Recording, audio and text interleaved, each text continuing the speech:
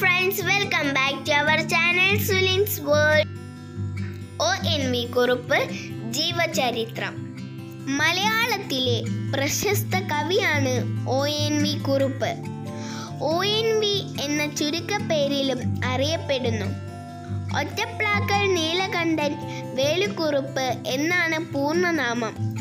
കൊല്ലം ജില്ലയിലെ ചവറയിൽ ഒറ്റപ്ലാക്കൽ കുടുംബത്തിൽ ഒ എൻ കൃഷ്ണക്കുറുപ്പിന്റെയും കെ ലക്ഷ്മിക്കുട്ടി അമ്മയുടെയും പുത്രനായി ആയിരത്തി തൊള്ളായിരത്തി മുപ്പത്തി ഒന്ന് മെയ് ഇരുപത്തിയേഴ് അത്തം നക്ഷത്രത്തിൽ ജനനം.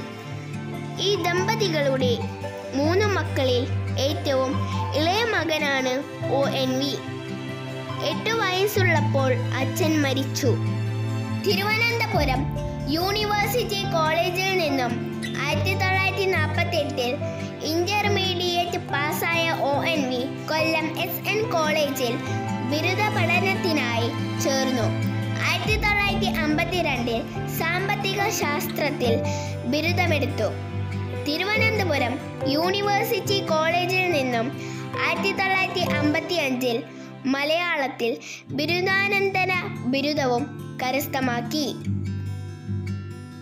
ആയിരത്തി തൊള്ളായിരത്തി അമ്പത്തിയേഴ് മുതൽ എറണാകുളം മഹാരാജാസ് കോളേജിൽ അധ്യാപകനായി. ആയിരത്തി തൊള്ളായിരത്തി അമ്പത്തിയെട്ട് മുതൽ ഇരുപത്തഞ്ച് വർഷം തിരുവനന്തപുരം യൂണിവേഴ്സിറ്റി കോളേജിലും കോഴിക്കോട് ആർട്സ് ആൻഡ് സയൻസ് കോളേജിലും തലശ്ശേരി ഗവൺമെന്റ് ബ്രണ്ണൻ കോളേജിലും തിരുവനന്തപുരം ഗവൺമെന്റ് വിമൻസ് കോളേജിലും മലയാള വിഭാഗം തലവനായി സേവനം അനുഷ്ഠിച്ചു.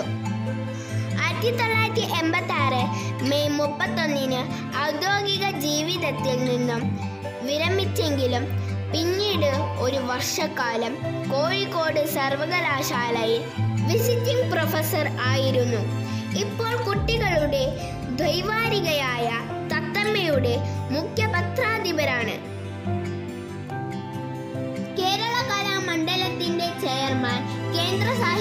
അക്കാദമി അംഗം കേരള സാഹിത്യ അക്കാദമി അംഗം എന്നീ നിലകളിലും പ്രവർത്തിച്ചു. ഇന്ത്യൻ പ്രോഗ്രസീവ് റൈറ്റേഴ്സ് ദേശീയ അധ്യക്ഷനായും സേവനമനുഷ്ഠിച്ചിട്ടുണ്ട്. വിദ്യാർത്ഥിയായിരിക്കുമ്പോൾ തന്നെ കവിതാരചന തുടങ്ങിയ ഒ എൻ വി തന്റെ ആദ്യ കവിതയായ മുന്നോട്ട് എഴുതുന്നത് പതിനഞ്ചാം വയസ്സിലാണ്. ആയിരത്തി തൊള്ളായിരത്തി നാൽപ്പത്തി ഒമ്പതിൽ പുറത്തിറങ്ങിയ പൊരുതുന്ന സൗന്ദര്യമാണ് ആദ്യത്തെ കവിതാ സമാഹാരം. ആറു പതിറ്റാണ്ടു ദൈർഘ്യമുള്ള സാഹിത്യ ജീവിതത്തിൽ നിരവധി പുരസ്കാരങ്ങൾ ഇദ്ദേഹത്തെ തേടിയെത്തിയിട്ടുണ്ട്. ആയിരത്തി തൊള്ളായിരത്തി എൺപത്തിരണ്ട് മുതൽ ആയിരത്തി തൊള്ളായിരത്തി എൺപത്തി ഏഴ് വരെ കേന്ദ്ര സാഹിത്യ അക്കാദമി അംഗമായിരുന്നു. കേരള കലാമണ്ഡലത്തിന്റെ ചെയർമാൻ സ്ഥാനവും ഒ എൻ പി വഹിച്ചിട്ടുണ്ട്. സാഹിത്യ രംഗത്തെ സംഭാവനകൾ പരിഗണിച്ച് രണ്ടായിരത്തി ഏഴിലെ ജ്ഞാനപീഠ പുരസ്കാരം ഇദ്ദേഹത്തിന് രണ്ടായിരത്തി പത്തിൽ ലഭിച്ചു. കേന്ദ്ര സർക്കാരിന്റെ പത്മശ്രീ പത്മവിഭൂഷൺ ബഹുമതികൾ ഇദ്ദേഹത്തിന് ലഭിച്ചിട്ടുണ്ട്. നിരവധി സിനിമകൾക്കും നാടകങ്ങൾക്കും ടെലിവിഷൻ സീരിയലുകൾക്കും അദ്ദേഹം ഗാനങ്ങൾ രചിച്ചിട്ടുണ്ട്. വാർദ്ധക്യ സഹജമായ രോഗത്താൽ രണ്ടായിരത്തി പതിനാറ് ഫെബ്രുവരി പതിമൂന്നിന് തിരുവനന്തപുരത്തെ ആശുപത്രിയിൽ വെച്ചാണ് മരിച്ചത്.